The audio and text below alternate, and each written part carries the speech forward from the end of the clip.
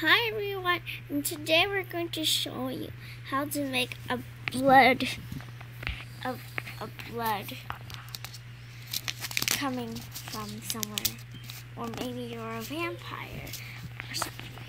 So we're going to learn how to make blood. So you need ketchup. It needs to be very, very red and red pepper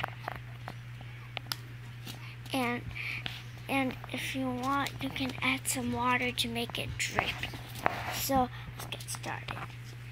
And we're going to put the ketchup on and first. So let's get started.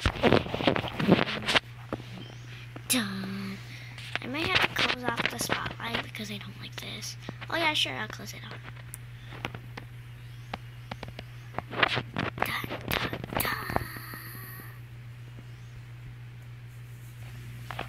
So that's the ketchup. So I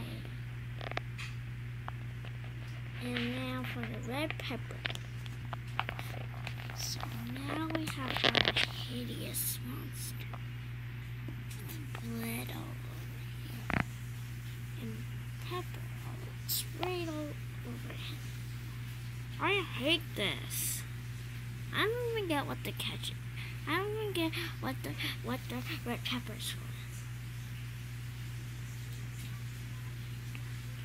Oh, the red pepper is like stuff. To make it look hideous, you're supposed to look like a hideous monster. Oh. Fine. Fire if you don't have anything nice to say about me, please don't say in the comments. Yeah.